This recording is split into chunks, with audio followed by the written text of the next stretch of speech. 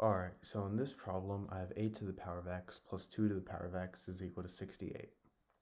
So I'm going to first start by rewriting 8 as 2 to the power of 3. So I get 2 to the power of 3 to the power of x plus 2 to the power of x is equal to 68.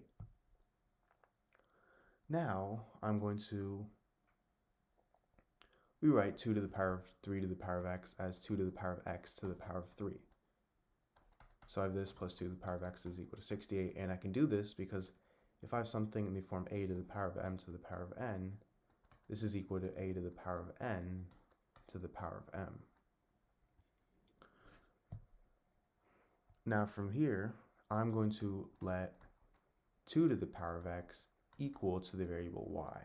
So if I substitute in y for 2 to the power of x, I get y to the power of 3 plus y is equal to 68. Now I can subtract 68 on both sides.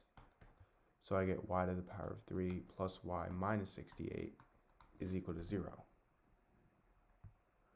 Now, to actually factor this and find the value of y, I need to first find the factors of 68.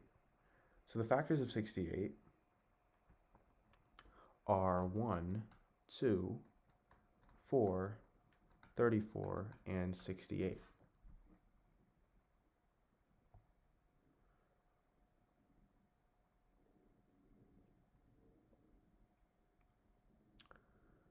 So,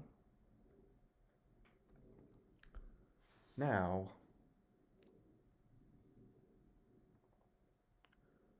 one wouldn't work because 1 times 68 we can't subtract those two to get y. And 2 wouldn't work either.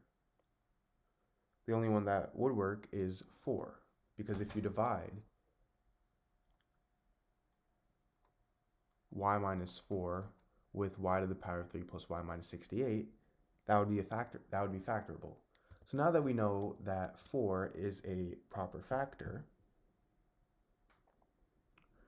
for my original equation here, y to the power of 3, I'm going to rewrite this as y to the power of 3 minus 4y squared plus 4y squared minus 16y, which is the which is 4 squared, plus 17y, because negative 16y plus 17y is equal to y, and finally minus 68 at the end is equal to 0.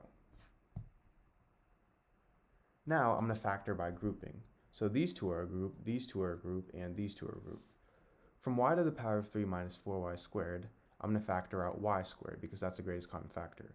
So I get y squared times y minus 4 plus from 4y squared minus 16y, I'm going to factor out 4y, so I get 4y times y minus 4. And from 17y minus 68, I'm going to factor out 17, so I get 17 times y minus 4 is equal to 0. Now if I factor out y minus 4, I get y minus 4 times y squared plus 4y plus 17 is equal to 0. And now this is this gives me two equations. I get y minus 4 is equal to 0, and I get y squared plus 4y plus 17 is equal to 0. So for y minus 4 equals 0, add 4 on both sides, and I get y equals 4. For y squared plus 4y plus 17 equals 0.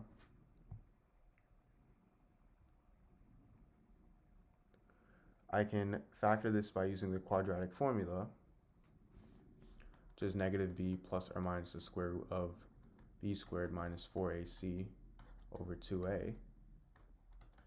So in this case, a is 1, b is 4, and c is 17. So I get y is equal to negative 4 plus or minus the square root of 4 squared, which is 16, minus 4 times 1 times 17, all over 2a, so 2 times 1. This is equal to negative 4 plus or minus the square root of 16 minus 68 over 2, which is equal to negative 4 plus or minus the square root of 50, negative 52 over 2.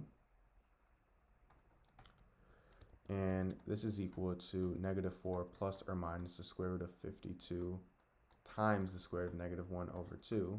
And the square root of 52, this can be simplified to, well, 52, that's 20, that's 13 times 4, and 4 is 2 times 2, so this can be 2 root 13.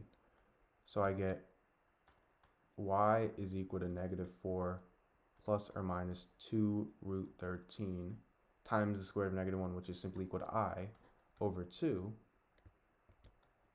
Now if I divide both terms by 2, I get y equals negative 4 plus or minus the square root of 13i.